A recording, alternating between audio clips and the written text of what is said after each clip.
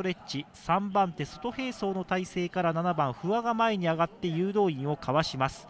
残り600の鐘車を下げていくのは6番の久木原ですが中段外には1番の泉も上がってきている。